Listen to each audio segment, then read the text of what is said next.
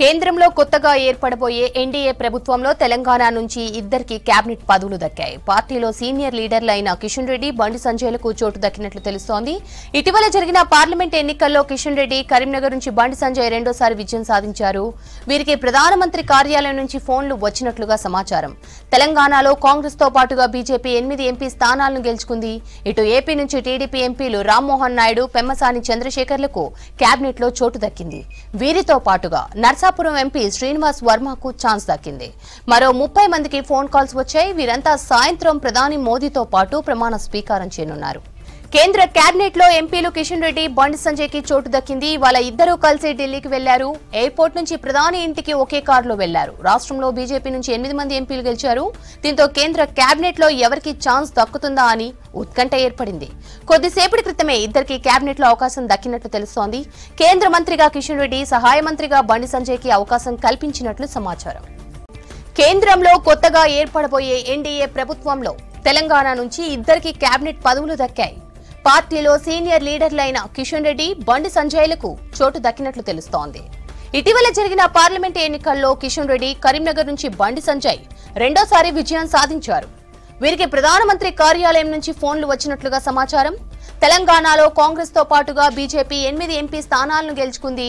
ఇటు ఏపీ నుంచి టీడీపీ ఎంపీలు రామ్మోహన్ నాయుడు పెమ్మసాని చంద్రశేఖర్లకు కేబినెట్లో చోటు దక్కింది. వీరితో పాటుగా నర్సాపురం ఎంపీ శ్రీనివాస్ వర్మకు ఛాన్స్ దక్కింది. మరో ముప్పై మందికి ఫోన్ కాల్స్ వచ్చాయి. వీరంతా సాయంత్రం ప్రధాని మోదీతో పాటు ప్రమాణ స్వీకారం చేయనున్నారు. ఇక దీనికి సంబంధించిన డీటెయిల్స్ వెంకట్ అందిస్తారు వెంకట్ కేంద్ర కేబినెట్లో రాష్ట్రానికి ఎలాంటి ప్రాధాన్యత దక్కనుంది? Sravanthi good morning. కేంద్ర మ- మంత్రి పదవుల కూర్పులో భాగంగా మెజార్టీగా తెలుగు రాష్ట్రాలకి ముఖ్యంగా తెలంగాణకి ఒక మంచి అవకాశం వస్తుందని చెప్పొచ్చు. ఎందుకంటే ఈసారి మోడీ త్రీ పాయింట్ జీరో మూడోసారిగా ప్రధానిగా నరేంద్ర మోడీ ప్రమాణ స్వీకారం చేయబోతున్న క్రమంలో దాదాపు ముప్పై నుంచి ముప్పై ఐదు మందికి తొలిదశ కూర్పులో అవకాశం ఇస్తున్నారు. ఈ తొలిదశ కూర్పులో తెలంగాణ నుంచి కేవలం ఒకరికి లేదా ఇద్దరికి అవకాశం వస్తుందని భావించారు. అయితే నలుగురు మాత్రం ఇక్కడ ఎక్స్పెక్ట్ చేశారు. కిషన్ రెడ్డి బండి సంజయ్ ఈటెల రాజేందర్ అదేవిధంగా డీకే అరుణ. ఈ నలుగురికి ఫోన్ కాల్ ఫోన్ కాల్స్ వస్తాయని ఢిల్లీలో వాళ్ళు రెడీగా ఉన్నారు. ఆ ఫోన్లు చేతపట్టుకొని కూడా తమకు ఎప్పుడు కాల్స్ వస్తే అప్పుడు ప్రధాని నివాసానికి ఇంటికి వెళ్దామని వారంతా రెడీ ఉన్నారు. కానీ ఇద్దరికి మాత్రమే ఫోన్ కాల్స్ వచ్చాయి. ఒకటి కేంద్ర మంత్రి కిషన్ రెడ్డి తనకి మళ్ళీ రెన్యువల్ చేశారు. గతంలో వారికి హోంశాఖ శాఖ సహాయ మంత్రిగా పనిచేశారు. ఆ తర్వాత కేంద్ర సాంస్కృతిక శాఖ మంత్రిగా క్యాబినెట్ హోదా పనిచేశారు. మళ్ళీ కిషన్ రెడ్డికి ఈసారి రెన్యువల్ లభించింది. మళ్ళీ ఆయన్ని రెన్యువల్ చేశారు. ఆయన కేంద్ర క్యాబినెట్లోకి తీసుకుంటున్నట్టు కూడా సంకేతాలు వచ్చాయి. ఆయనతో పాటు బండి సంజయ్. కరీంనగర్ నుంచి రెండవసారిగా ఎంపీగా గెలుపొందిన బండి సంజయ్ కూడా ఈసారి అవకాశం వచ్చింది. బండి సంజయ్ ఎంపీగానే కాదు రాష్ట్ర అధ్యక్షుడిగా పార్టీ పటిష్టతలో కూడా డే వన్ నుంచి ఉన్నారు.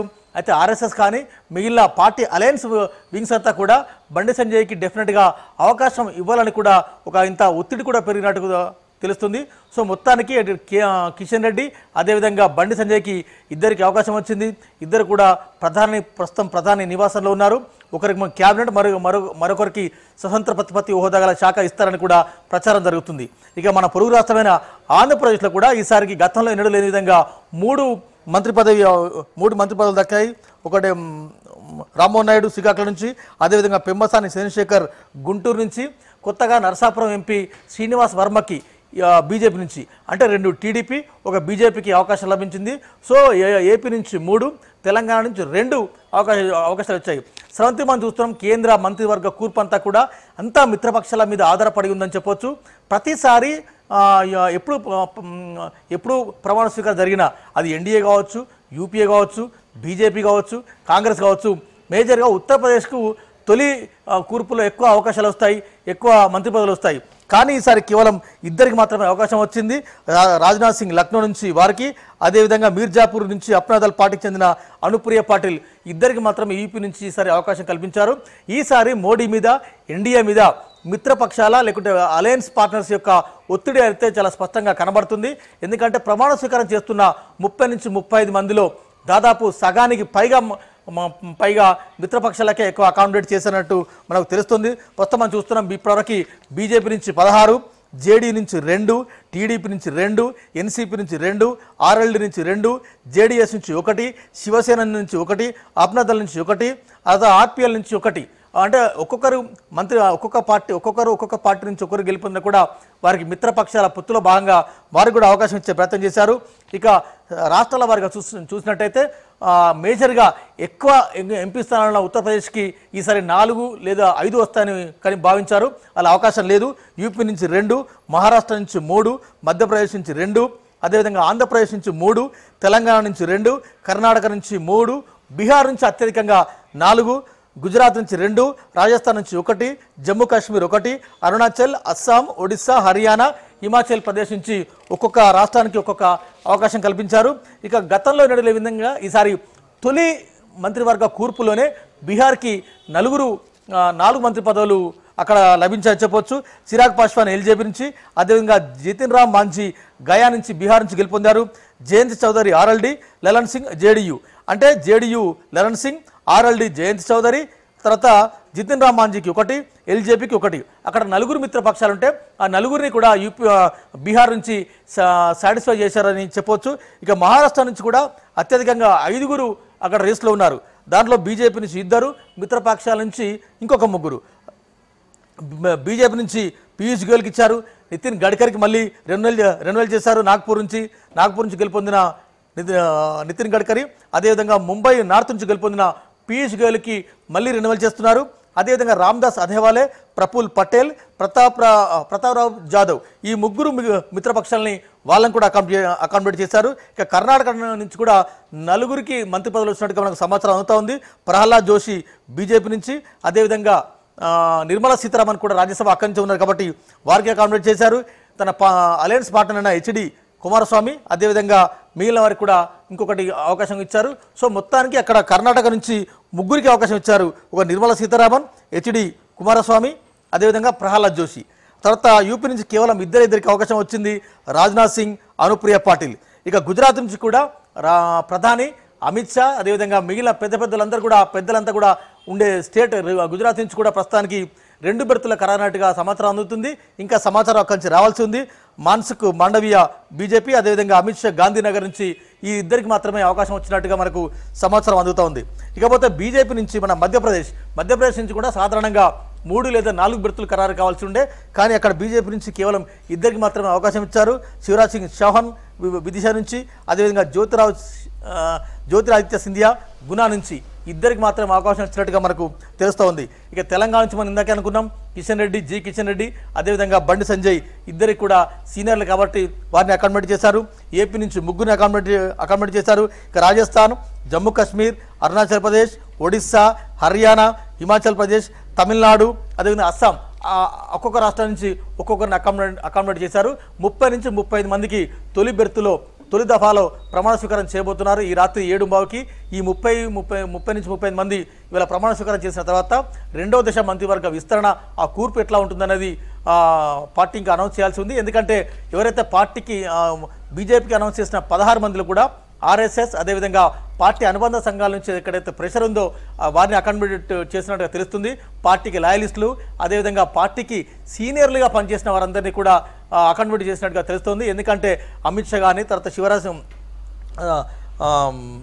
అమి- అమిత్ షా కానీ నిర్మలా సీతారామన్ కానీ అదేవిధంగా గడ్కరీ కానీ పీయూష్ గోయల్ కానీ ఆ తర్వాత జి కిషన్ రెడ్డి బండి సంజయ్ వీరందరినీ చూసుకుంటే పార్టీలో సీనియర్లు పార్టీకి లాయలిస్టులని తొలి కూర్పులో తొలి దఫా కూర్పులో అకామిడేట్ చేసినట్టు తెలుస్తుంది. అయితే మలిదశ విస్తరణ మరొక నెల రోజుల తర్వాత ఉండే అవకాశం ఉంటుంది. రాష్ట్రాల వారీగా మిత్రపక్షాల వారీగా అన్ని అంశాలు చూసుకొని దాదాపు డెబ్బై నుంచి ఎనభై మంది ఈసారి కేంద్ర మంత్రివర్గంలో అవకాశం ఉంటుంది. కానీ ఫస్ట్ ఫేజ్ మాత్రం డెబ్బై డెబ్బై నుంచి డెబ్బై ఎనభై మంది అంటున్నారు. కానీ డెబ్బై నుంచి ఎనభై మంది కేంద్ర మంత్రివర్గ పదవులు వస్తే దీనిలో దాదాపు సిక్స్టీ పర్సెంట్ దాదాపు సహాయ మంత్రులే వచ్చే అవకాశం ఉంది. ఎందుకంటే అన్ని రాష్ట్రాలను అకామిడేట్ చేయాలి. ఈసారి సౌత్లో బీజేపీ చాలా బలం పెరుగుతుంది. సౌత్లో గతంలో ఎన్నడూ లేని విధంగా లేని విధంగా తమిళనాడు కానీ తర్వాత కర్ణాటక కానీ ఆంధ్రప్రదేశ్ కానీ తెలంగాణ నుంచి కానీ వారందరినీ కూడా బీజేపీ అకామిడేట్ చేస్తూ వస్తుంది. ఇందులో భాగంగా ఇందులో భాగంగా కర్ణాటక నుంచి ఇప్పటికే ముగ్గురిని అకామిడేట్ చేశారు. తెలంగాణ నుంచి ఇద్దరిని అకామిడేట్ చేశారు. మరొక ఇద్దరికి కూడా అవకాశం ఉందని కూడా ఒక ఊగా ఊహాగానాలు వస్తున్నాయి. అయితే కొద్దిసేపు క్రితం డీకే అరుణ ఈట లాయేందర్ వారి అనుచరులు కానీ వారితో మాట్లాడినప్పుడు తమకి ఈ ఈ ఇక్కడ ఇప్పుడు అవకాశం రాకపోయినా మలి దశ విస్తరణలో అవకాశం వస్తుందనే ఆశతోనైతే ఆ నేతలు ఉన్నారు అయితే వారిద్దరిలో ఒకరికి క్యాబినెట్లో ఉంటుందా?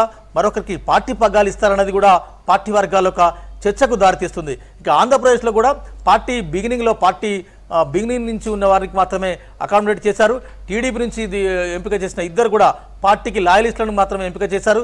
కింజారావు రామోనాయుడు నాయుడు వారి తండ్రి Erram Naidu nineteen ninety six నుంచి కూడా వారు కేంద్ర మంత్రివర్గంలో ఉన్నారు. అదేవిధంగా ఎప్పుడు కేంద్ర మంత్రివర్గంలో అవకాశం ఉన్నా అప్పుడు ఏపీకి ముఖ్యంగా టీడీపీకి అవకాశం వస్తుంది.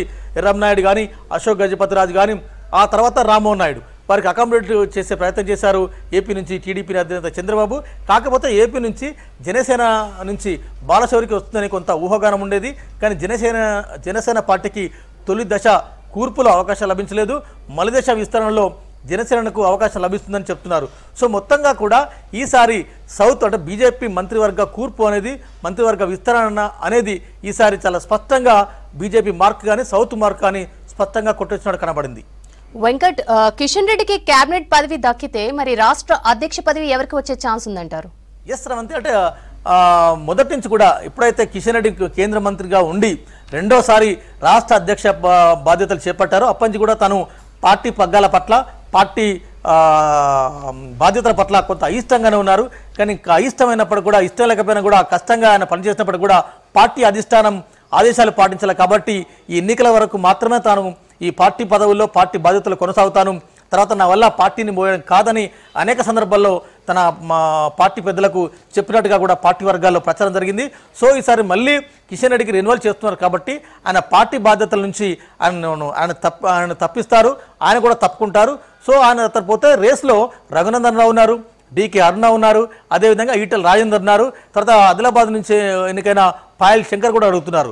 సో నాకు తెలిసి ఎమ్మెల్యేలకు ఇవ్వకపోయినా రఘునందన్ కానీ డికే అరుణ కానీ ఈటల రాజేందర్ ఈ ముగ్గురులో ఎవరో ఒకరికి రాష్ట్ర బీజేపీ పగ్గాలు వచ్చే అవకాశం ఉంది. ఎందుకంటే రానున్న రోజుల్లో బీజేపీ ఇక్కడ సీరియస్గా పాతుకుపోవాలి కాబట్టి సీరియస్గా పనిచేయాలి కాబట్టి గట్టి నేతకి ఇచ్చే అవకాశాలు ఉన్నాయి. ఎందుకంటే ఈ రాష్ట్రంలో భారత రాష్ట్ర సమితికి ప్రత్యామ్నాయంగా బీజేపీ ఎదగాలి కాబట్టి ఎందుకంటే బీజేపీ అంచెలంచెలుగా ఎదుగుతూ వస్తుంది.